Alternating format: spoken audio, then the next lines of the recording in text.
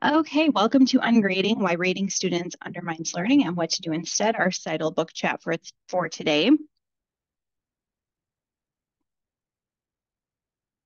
I will be your presenter today. My name is Amanda Hirsch. I'm the Teaching and Learning Coordinator in the Center for Innovative Teaching and Learning at NIU. Um, I've been at, at CITL for five years now. It's actually five years uh, yesterday, I think was my anniversary of starting work um, in CITL back when it was faculty development and instructional design. But I also earned my master's and my PhD at NIU. So I've been here for a while and I've been teaching college English for 16 years. Um, I'll take questions throughout and at the end of the presentation. So if you have any specific questions related to what I'm talking about, feel free to post those to the chat thread. I'll address them as they come up. So now I want to get to know everyone here. I have some information about you from the registration, but you may not know each other. So in the chat, um, tell us what your department or division is, what's your role, um, and what you hope to get out of this workshop.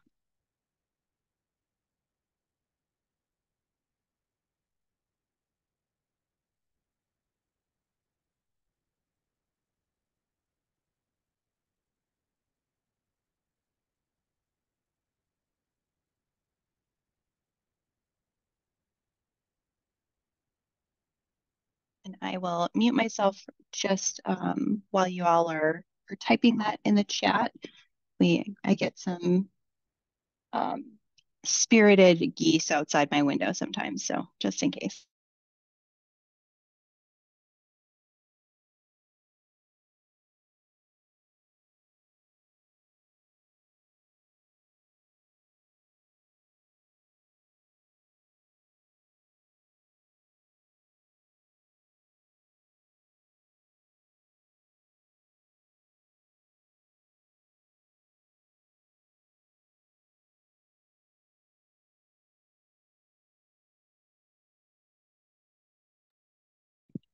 Okay, great, Melissa. I'm glad that you're able to join on your phone as well for the audio. All right, so it looks like um, most of you are just looking for some new ideas for um, about grading um, and how to get students to focus more on learning and less on grades, which uh, they definitely discuss in this book. So we'll get into what that looks like according to the authors of the book. Um, and we've got, a, there's a foreword by Alfie Kohn, um, who is a progressive um, pedagogy expert. Um, and so some of the chapters in the book as well, those authors cite Alfie Kohn too. But um, in his foreword to the book, Alfie Kohn talks about how grades themselves are the problem, not grade inflation. Um, so there's a lot of hand wringing, he says, over, over grade inflation, but really the grades themselves are the problem, not the grade inflation. Um, he also says that ranking students or curving grades is actually counterproductive for learning. And other authors get into more detail with that as well and their experiences with that. Um, and then he talks about descriptive labels. So sometimes if um, a faculty member wants to get away from you know, A, B, C, D grades, maybe they'll do descriptive labels instead, like needs improvement, proficient. But he says that those are just grades by another name and students will see them as such. Um, he also talks about narrative reports. So giving a student a narrative report about you know, your feedback or whatever on their assignment, their assessment, and he calls those monologues, not dialogues or conversations. So they don't have the same impact as a dialogue or conversation would have, in other words. Um, he draws this distinction between feedback, which is saying to the student, here's what I've noticed, uh, versus judgment. Here's what I like or dislike about what you've done. And sometimes we might muddy the two. Um, so feedback is helpful uh, to Alfie Kohn, you know, here's just what I've noticed about it, about your work. Um, and then judgment is less helpful. Um, so passing judgment on student work, telling them what you'd like or dislike. He uh, defines ungrading as eliminating the control-based function of grades. So, for example, students would propose course grades for themselves, and that's a strategy that a lot of the authors in the book take, and they take different um, approaches to that strategy. But we'll talk about the different ways that that can look, and um, according to the authors of the book chapters. Um, classroom ungrading, he says, is a stopgap measure to minimize damaging effects of a final grade.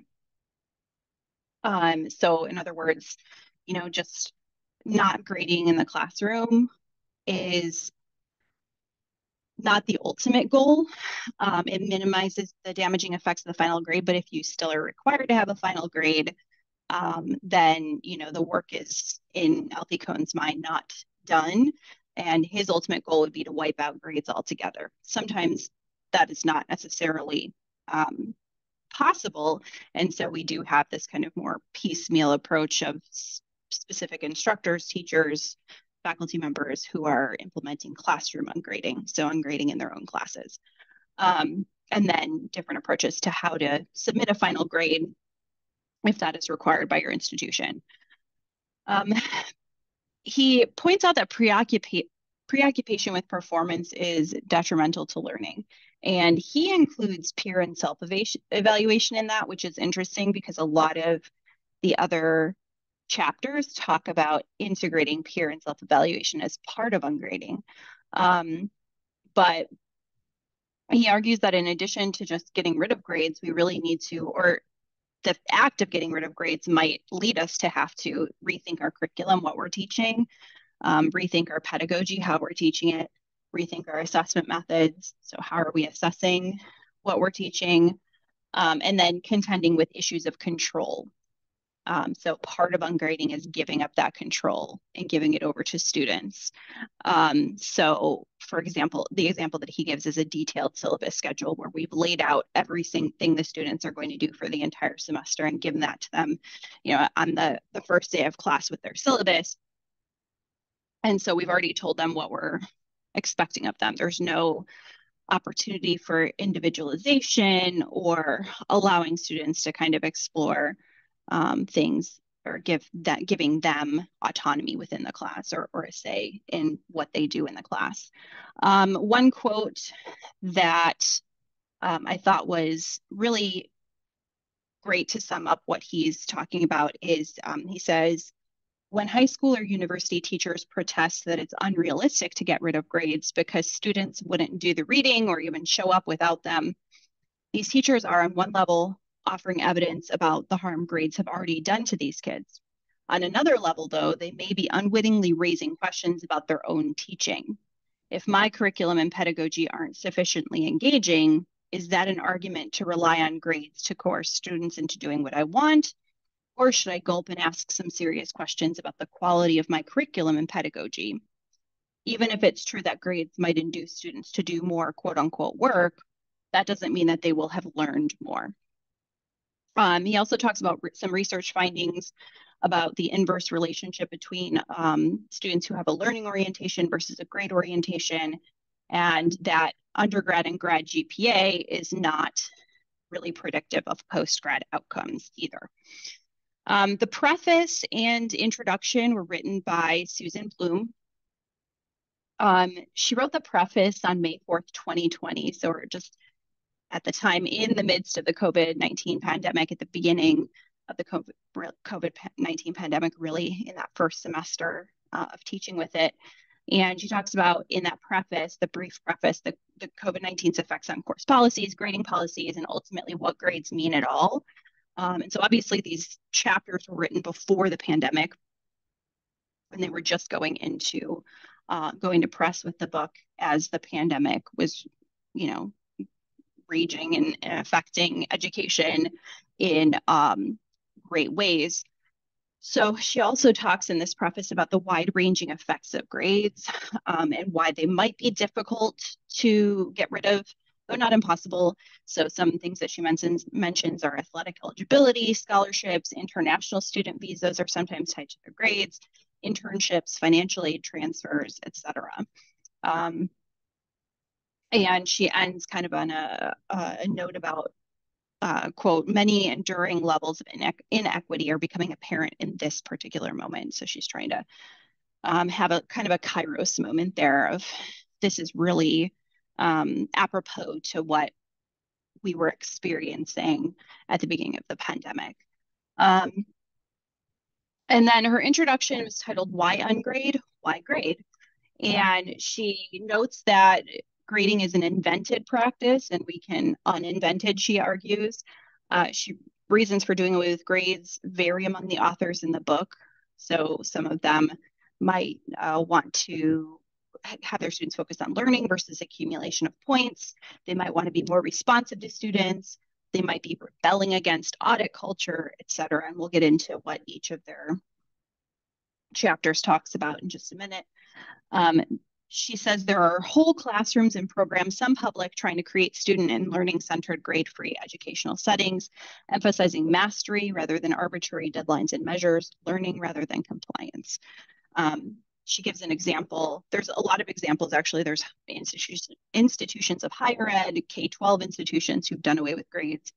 Um, she uh, gives the uh, a great example, though, of medical schools uh, moving to pass fail and um, away from grades to create more cooperative communities. So they're not com um, competing with one another. They're able to be more cooperative um, and feel more comfortable cooperating with each other and helping each other out. And then also to lower high rates of suicide in medical programs because suicide rates are high in those programs because they're very stressful. Um, she also talks about some of the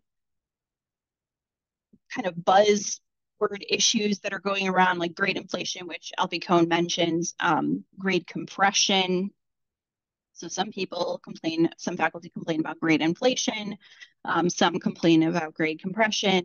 Um, some institutions have, or departments have fixed grade distributions. So that's where we might get grading on a curve, for example.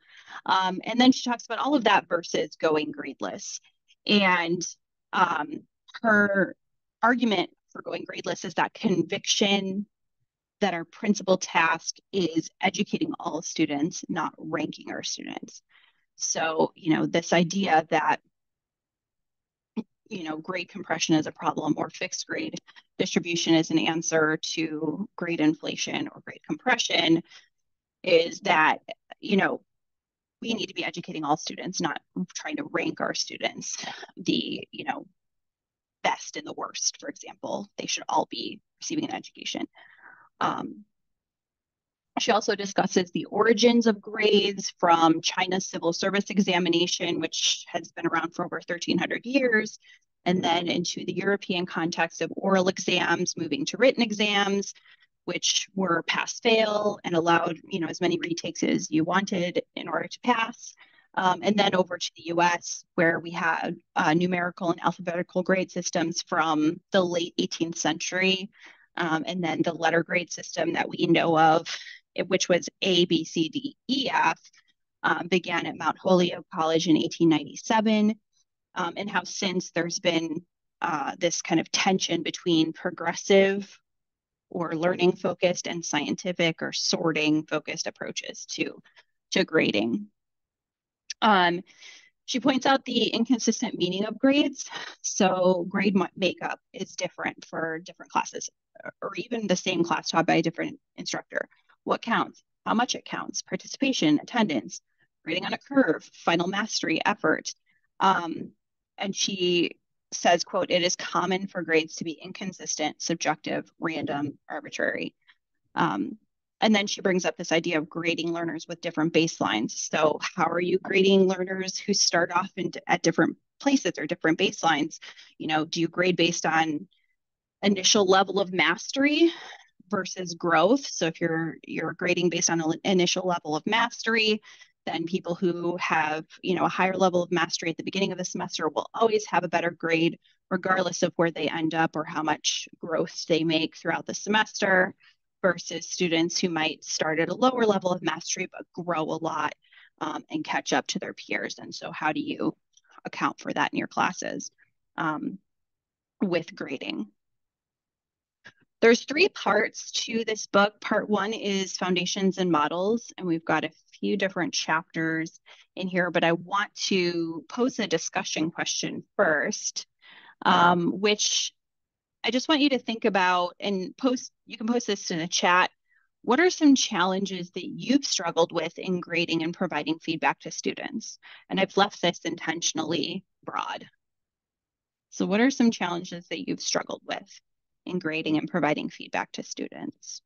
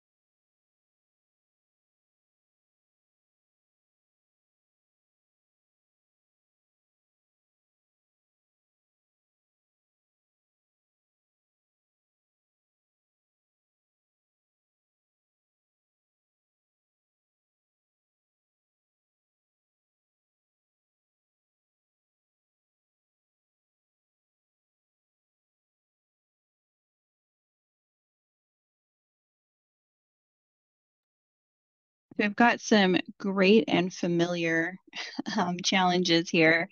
Um, they aren't interested in feedback, just want to know that they have the grade. This tells me that they're not focusing on demonstrating their learning, but the grade. Um, significant differences in student performance or knowledge level. Um, teaching students in their final semester, so norms are well established and it's hard to be different, definitely. Um, that can be a challenge implementing something different to what they're um, used to. Uh, it can be difficult with beginning language students to come up with an overall assessment instrument. Exams really don't present them with an evil, even playing field. Um, having to decide whether to and how many points to assign or deduct when student ideas fall outside the parameters of the rubric. And rubrics are addressed in some of these chapters too. Um, I noticed that they become defensive on feedback instead of learning what the feedback is addressing and uh, struggles. They they mostly care about their grades and not how to better study or what the mistakes imply, how to improve moving forward. Great. So those are all issues that the um, chapters in the book that the faculty address in those chapters. Um, so we'll get into the, the chapters of the first section. So again, this first section is foundations and models.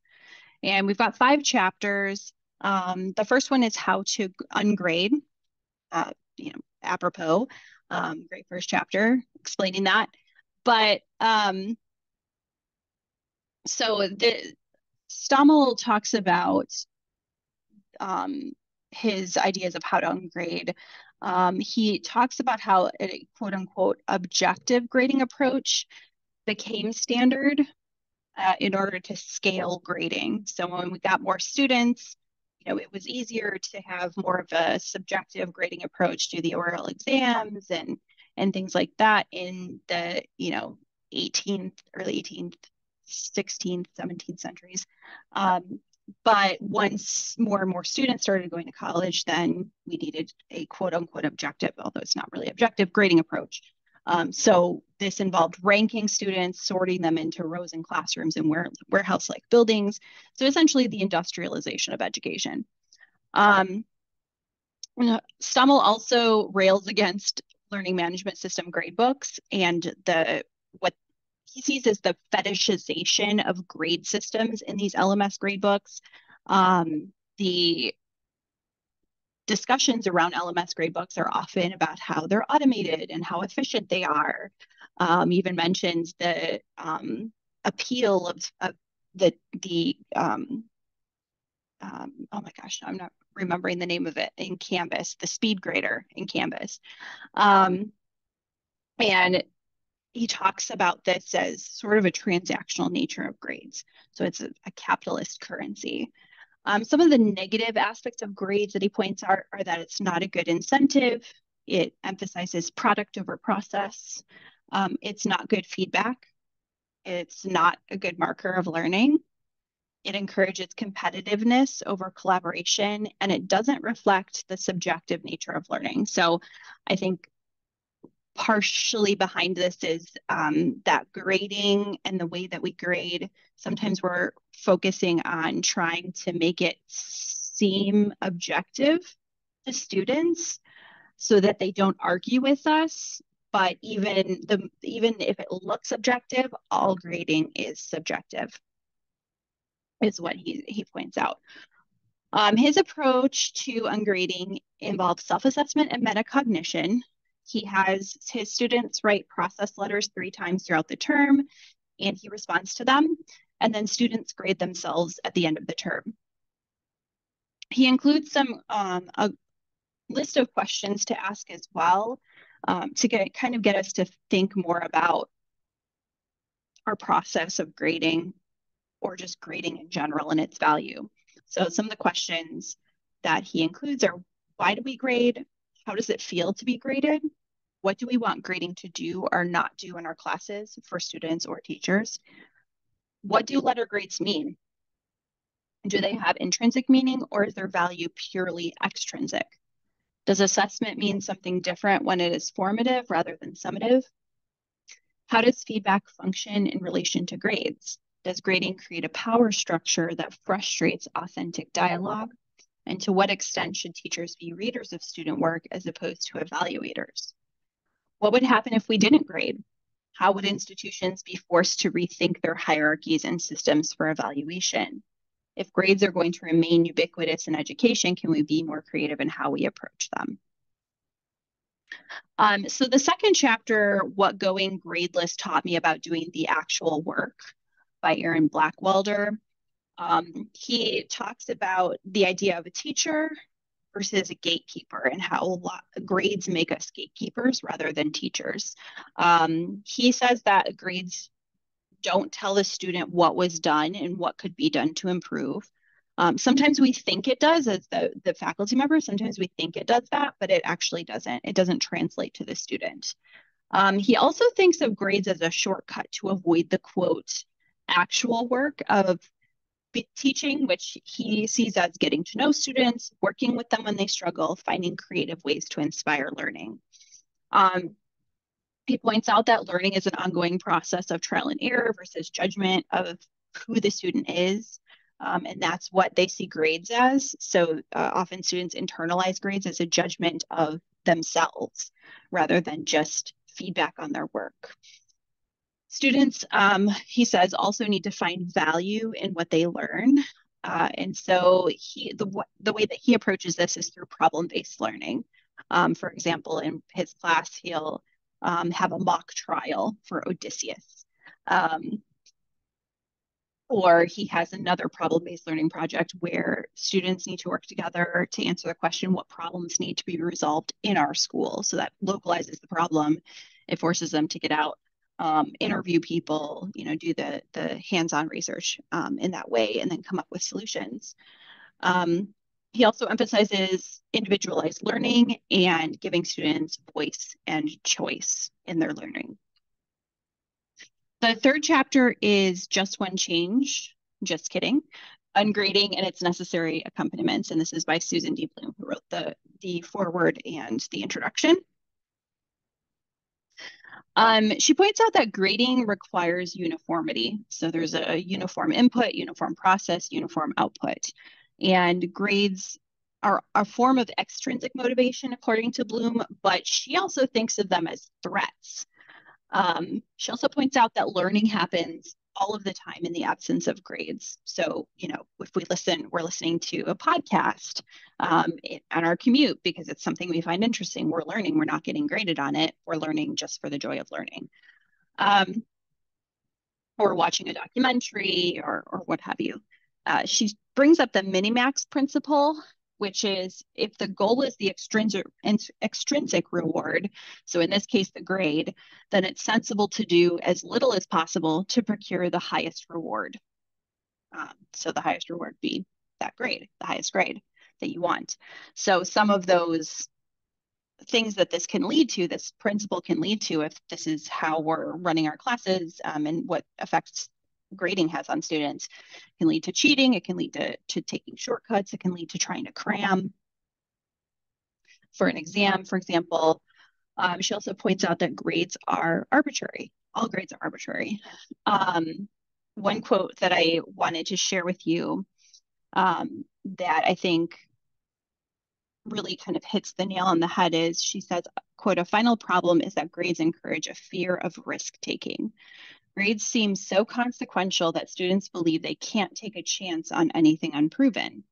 In most college classes, a mistake is punished by a lower grade, which is then averaged into the other grades, even if the student completely masters it after that initial try. Yet mistakes are information and contribute to learning.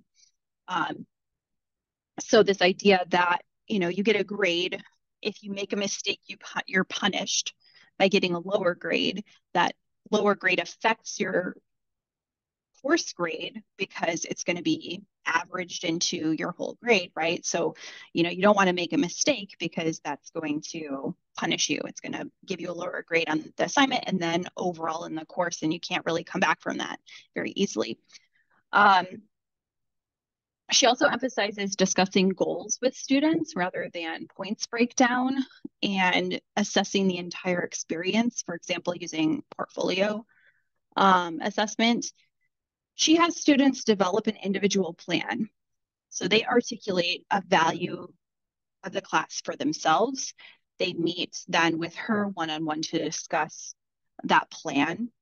They also practice self assessment. So they develop honest standards and self scrutiny and then at the end of the semester, they have portfolio conferences with her where they meet with her for five minutes. At the end of the semester, they prepare with a document to look back over their semester's work, so the portfolio of the work, um, and then they propose a grade for themselves, and they have a discussion about that grade. So um, she notes that it one of the most difficult parts of ungrading is relinquishing that control, following students' needs, and trusting students. She also um, includes some prompts. She has an appendice to her chapter and includes some prompts. So if you're interested in in that, um, we do have uh, the ebook version of Ungrading through our library. So if you look for the title of the book in our library, you can download the ebook version um, and read that on uh, the Adobe Immersive Reader. So if you want to take a look at any of the appendices, the prompts, the example assignments that they they include. Um, you can do that um, through our library. Uh, chapter four is shifting the grading mindset, and this is by Starr Sackstein. This emphasizes the importance of the language that we use, so grading versus assessing learning. Um, Sackstein advocates for using the word assessment rather than grading um, because a grade implies or the question that that students will answer if they're graded is what did I get? What grade did I get? Um, versus the question we want to, them to answer, right? What did I learn? And so for assessing student learning um, and giving them feedback or uh, and strategies, then they're going to be focusing on the learning part, not the grading part. Um, the quote that I pulled from her is a short one. It says, Com compliance can't be what motivates learning. She notes that low grades are discouraging while high grades signal completion. maybe the end of learning. So when they see a low grade, they might be discouraged by that. If they get a high grade, they might think, well, I learned it, so that's the end. Um, there's some sort of completion there. Um, in her class, the, the students uh, keep a feedback log, so they collect feedback and strategies from their teacher. Um, they set goals for themselves. Then the teacher can target feedback and celebrate achievements based on those goals that the students have written for themselves and their reflections on the feedback that they've received. Um, she also advocates for targeting your feedback. So I know I've been guilty of this in the past where I'm just commenting on every little thing when I'm marking up papers. Um, but when students look at that, you know, if you think about that from the student perspective, I'm going to see all these markings. Oh my gosh, this is intimidating. It might, I might feel like it's an attack on me. I might feel like it's a criticism of me. Um, and so I might feel overwhelmed, like there's just too much for me to fix in this. Um, and so I might just give up. So by targeting feedback, we're not commenting on trying to comment on too much or on everything. We focus our feedback. Okay, what's the most important thing that the student needs to do to grow, to learn, to improve? Let's focus on that. Let's get them there. And then we can touch on something else the next time around. Um, and then towards the end, she says, We would be remiss if we just kept doing the same thing because it is how we have always done it. All right, the final chapter in this first part is um, stifle or grade stifle student learning. Can we learn to teach without grades? Um, and this author says that grades take the focus off of feedback, and this is something that you know your comments on your challenges with grading um, support. So grades are taking the focus off of the feedback. They inhibit growth. Um, he advocates for written and verbal feedback about what students did well, what they can improve. Um, and he uses an online portfolio platform for student work and documenting their progress toward their learning goals. I think he said he uses Seesaw. So you can use, you know, a portfolio platform or just, you know, have folders for different students in um, the learning management system and have them kind of collect all of their work and their feedback there um, and write about their goals so that you can kind of take a look at their work as a whole at the end of the semester.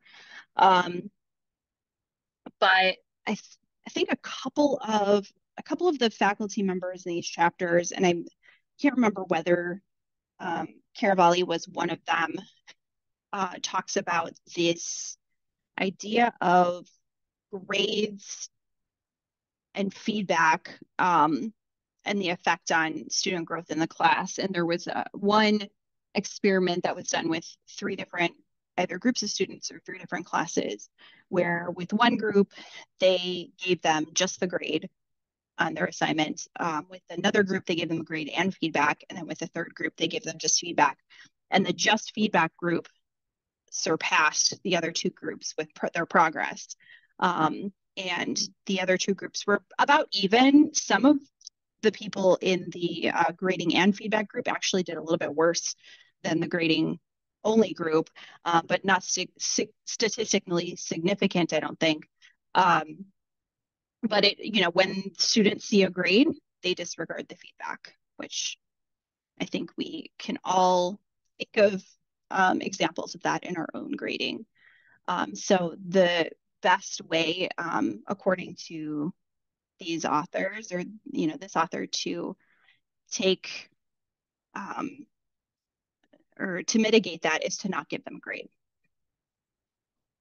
Um, so some key takeaways from these chapters were about the transactional nature of grades as sort of a capitalist kind of currency, um, the fact that grades aren't incentive, feedback, markers of learning, promoters of collaboration, or objective, that grades as a uh, might be a shortcut to avoid the actual work of teaching, depending on what you see as that that work um, for that author. Um, it did not promote what they saw as the actual work of teaching. Grades are arbitrary. Students do need to see the value in their learning in order to be invested in their learning. Um, learning happens in the absence of grades all the time. And the presence of grades removes focus from actual feedback. The second part of the book is on practices. So another question, um, some of the, the practices involve peer and self-evaluation. So have you used peer and self-evaluation in the classroom and to what end? So go ahead and, and post that to the chat. Even if you haven't, you can just say, no, I've never done it. Um, but have you used peer and self-evaluation in the classroom? And if so, to what end?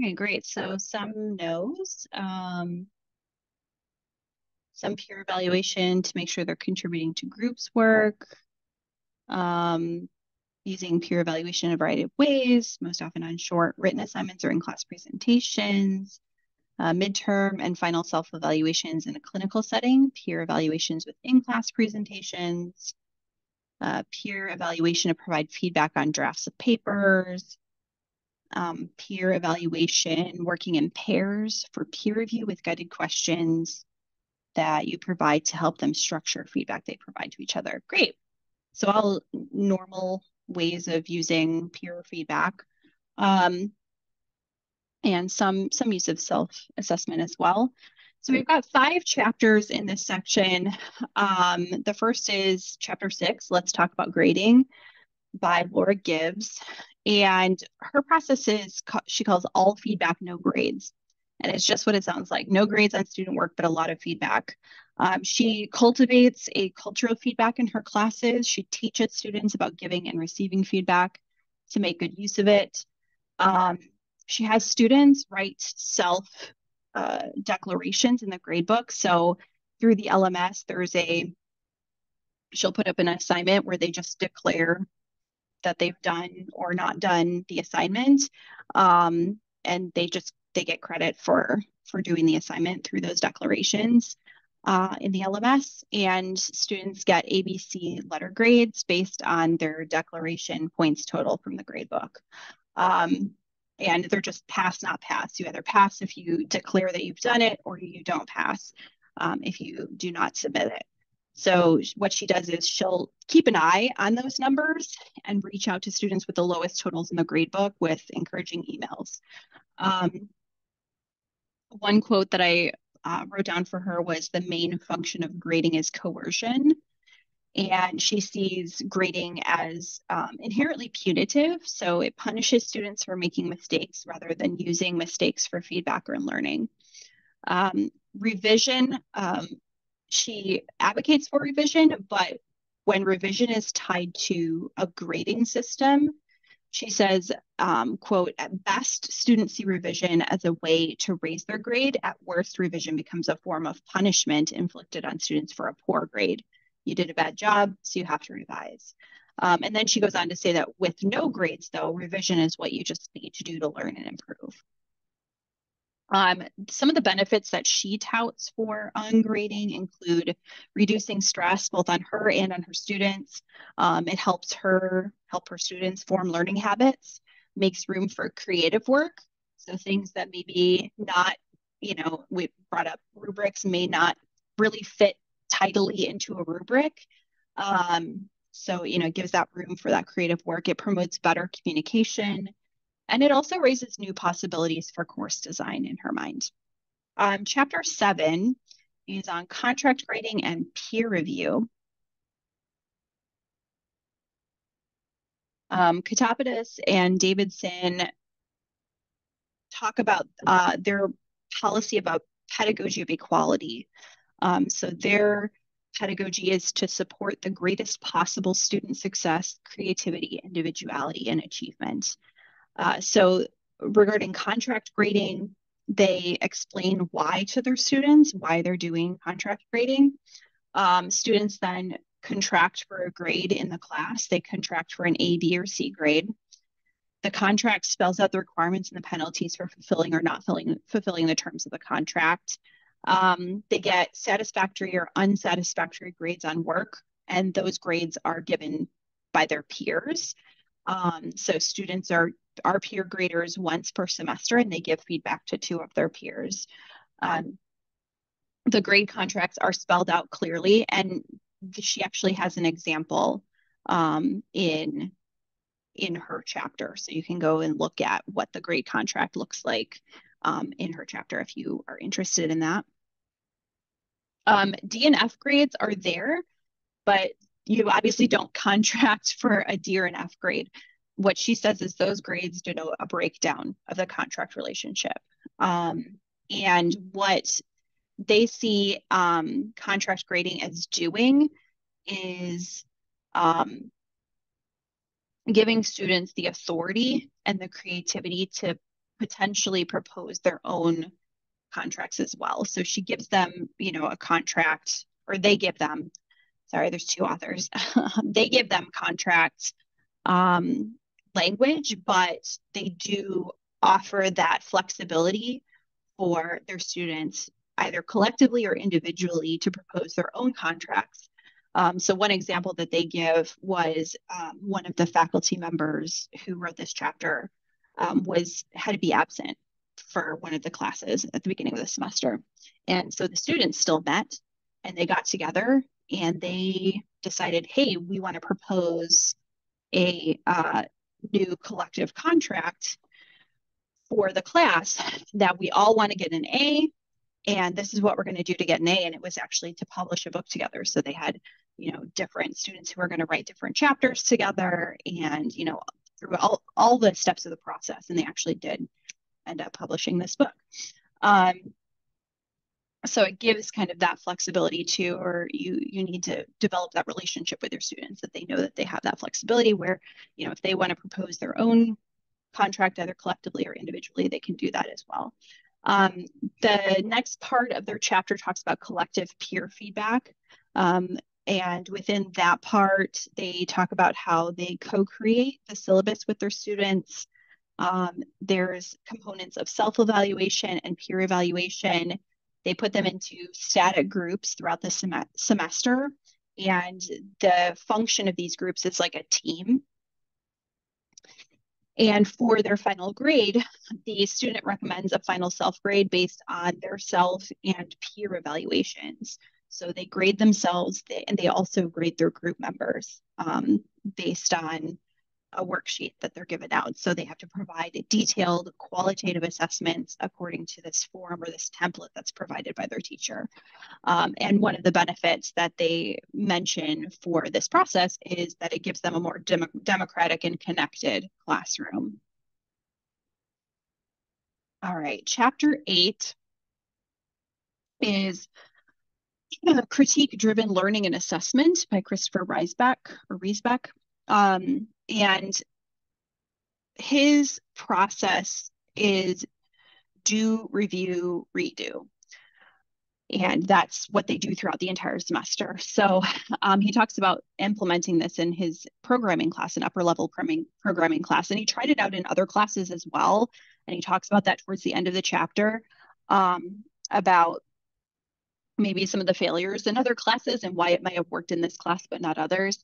Um, but this was an upper, as I mentioned, an upper level level pro programming class, and students um, selected an exercise, and they would send their professor a working solution. The professor would critique it and then return it to them, and then the student would revise or redo it, um, and then return, you know, turn it in again, and then they would repeat this process until that exercise had no more critiques, the professor had no more critiques on the exercise, then the student would choose a new exercise and then repeat the process, rinse and repeat until the end of the course.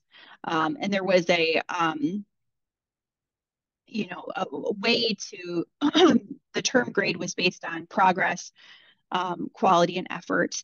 The details were outlined, expectations for effort were explained to students, and, and are also briefly explained explained in the chapter and the way that he explains it is you know the different exercises have different levels of difficulty and um, you know effort required. And you know so they would need to show that they're progressing and putting forth effort and moving into um, more complicated exercises um, by the end of the semester. Um, and then what he did to make the, the critique process faster for himself was he would create a library of brief crit- critiques to reuse electronically. Um, and he now, I think he said at this point that he wrote the chapter, he was up to 500, you know, of those that brief critiques in his library. Um, and he also actually created an online critiquing application called Code Critic. Um, he he explicitly talks about rubrics as well um, uh, versus critique and says that critique is more efficient for him in his experience. Um, analytic rubrics, he says, don't really um, give students specific enough information to be able to um, redo the exercise. And then single point rubrics end up taking, they might work better, but they end up taking more time to implement than doing the critique in the way that he does them. Um, so that was one of the, the, the things that he explains and, and, talks about with rubrics there. Um, and you can go and, and take a look at that too and look at more about what he has to say about, you know, how rubrics might not be sufficient um, for feedback. Uh, excuse me, challenges he outlines are that he doesn't have any standardized due dates be because students pick an exercise and the exercise the exercises can be from you know a list of exercises and some of them might take more time than others and so there's no standard due date standardized due dates. Um, so he does occasionally um, doesn't happen with many students he said but um, has students who might you know not might see that lack of a due date as a lack of um, uh, prioritization for his class and for those assignments if they've got you know looming due dates in other classes for example and those students who wait until the end of the semester to start turning in any, turning anything in will fail because they haven't done that um, do um, review redo process the way that they need to. Um, he also talks about one of the challenges being, you know, something that we all deal with as well, plagiarism of code. Um, and, you know, how he has to kind of police that. Um, but, you know, there are platforms, particularly for coding, that you can search for open access code there and it's fairly easy to copy and paste, he says. So it, it's not a huge issue for him right now. Um, but the other challenge that he mentions was when he talks about trying talked about trying to implement this in other classes. Um, and critique driven learning, he said, only works if the students want to master the skills that are involved, so they have to see the value for the effort. And he's tried in other types of classes to demonstrate that value in different ways, but the students don't really see it as an immediate value the way that, okay, if I learn how to, if I learn how to do this, this code, um, I can see the immediate value in that right away. Whereas, you know, with things like professionalization and team um, coding and things like that, it, the while um, employers may want to want to see that or see that as lacking, students may, even if you tell them that, students may not see the immediate value for the effort that they are putting forth. Um, all right, chapter nine, so there's two more chapters in this. Uh, chapter nine is a STEM ungrading case study, a reflection on first time implementation in organic chemistry two. And um, she, in this chapter, she outlines on the ungrading plan for a course, obviously organic 2, um, including self-grading based on feedback compared to the instructor grade. So she does grade in this course, but she with, withholds the grade. She doesn't give them the grade. So she gives them the, her, her feedback. Then the student, based on that feedback, determines what they think their grade should be and then the um, they submit that and they talk about that. And uh, the score their ultimate score on the exam is determined by taking the professor's score which they've withheld and not shown to the student um, and then the uh, student self score and averaging um, or averaging those out and then looking at the professor's score versus that average score and then choosing the higher of the two as the student's exam score. Um, she also describes an extra credit or grade deduction policy. So the way that she tries to mitigate potentially students inflating their grades is um, that she has an extra credit or a grade deduction policy that's based on the number of standard deviations between the student student self score and the professor score. So if they're very close to the professor score, then they get some extra credit points. Um, if there's you know more than a few standard deviations away from the professor score, then they get actually a grade deduction off of whichever is the higher grade. Um, so the process is they take the exam, they get their feedback, they conduct their self-assessment, and then there's a conversation with the faculty member. Um, a couple of the challenges that she mentions with her method is that there's a learning curve to it, uh, both for her and for her students, and it is a very time-consuming process, she says. All right, the final chapter in this second section is the pointless classroom or a pointless classroom, um, a math teacher's ironic choice in not calculating grades. And Gary Chu talks about how, or points out that teachers are afraid to take risks, for example, taking the risk of taking on ungrading. But ironically, we ask students to take risks in our classes all the time, but we're afraid to take the risk too. Um, so he points out the irony in that. Um, so he describes his process as so he went he moved from you know grading everything to only summative grading, so only grading the summative assessments, and then moved to uh, standard based grading or SBG, and then finally to metacognition and descriptive feedback. Um, he also talks about how he gives the option for alternative assessments to demonstrate learning for students. So if they want to you know, propose an alternative assessment, they can. And like the other, you know, faculty authors in this book, um, they he works with students to co-determine their end of semester grade. Students make the case for their grade, for example, through written reflection or vlogs, podcasts, in-person conferences, and a conversation between the two leads to an understanding and ultimately they agree on a, a course grade for the student. So some key takeaways from this section are feedback, feedback, and more feedback, or critique as the one author um, calls it. Student participation in assigning semester grades. So um, there's different strategies for how to do that. Um, some components of that can be, you know, self-grading, peer grading, instructor grading, combination um, of multiples of those um, revision or redo to improve and learn instead of as a punishment or being tied to a grade. Um, and you know, it's very difficult to do revision to improve or learn if it is tied to a grade. Um, pedagogy of equality versus sorting, excluding, and competing, and then peer collaboration and co-creation as democratizing the classroom. All right, so part three is reflections, and this part's a lot briefer.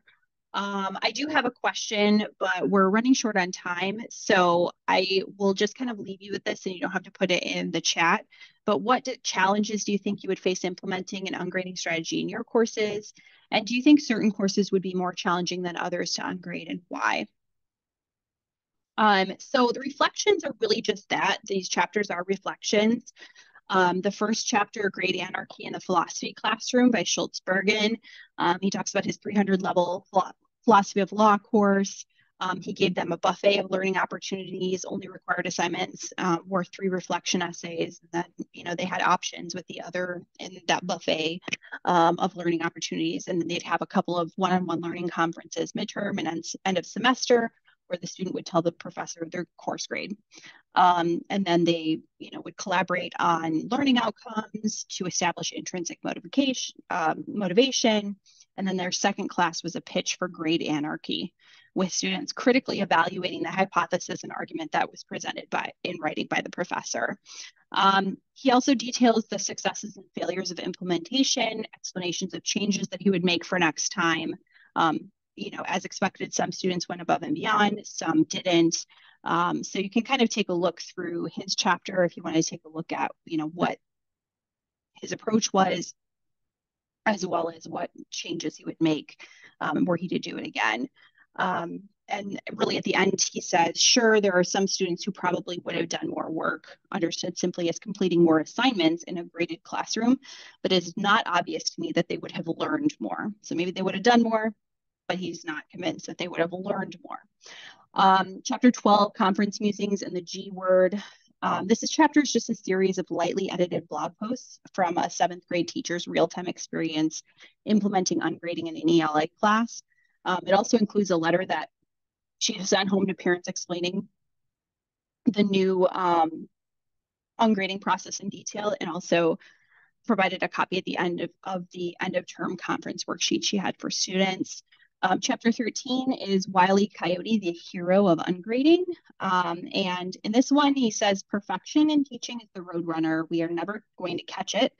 We need not be as pathetic as Wiley Coyote and his failures, but we must vow to be as dogged in our pursuit of our mission. Um, and really, the um, really this one is about how reading and responding to student work and ungrading, he argues, is more pleasurable than grading, um, which he sees as picking out and quote unquote remedying their defects. Um, and ultimately, he's arguing for teaching consistent with your values and uh, mentions that he himself uh, realized that he could not teach consistent with his values because he was teaching as contingent faculty. Uh, I think he had said for 17 years, which wasn't aligned with his values. So at the end of this, um, he's not going to be doing ungrading again because now he does um, pedagogical trainings instead of um, instead of teaching, which he quit. Um, and then the conclusion basically talks about how um, accidentally went to a different page. Um, outlines challenges, areas for further research, advocates for connecting K-12 and higher ed educators, specifically those that are interested in or doing grading to learn from each other and to collaborate. Um, so you can take a look at that conclusion if you're interested in some of the things that she outlines for, you know, what we could do to do further research for experimentation, for growth, to take those risks. So here are the key takeaways before we, we end here. Um, reading to provide feedback can be more enjoyable than reading to grade. Um, I think I've I I would definitely agree with that. Um, some structure or scaffolding may be necessary if you implement ungrading. Um, ungrading may work better in certain contexts for certain courses or for certain groups of students. Ungrading also needs a lot of explanation and communication. We also want to teach in a way that's consistent with our teaching or pedagogical values. And again, there's a lot of opportunity for further research, experimentation, and growth, so we can take those risks. Um, oops. So if you have any questions, you can post them in the chat. I'll stick around for a few minutes. Um, otherwise, I thank you so much for joining me today to talk about um, this book Ungrading and the many ways that that could look in different classes and different disciplines. And I hope you have a great summer. Um, and I'm going to stop the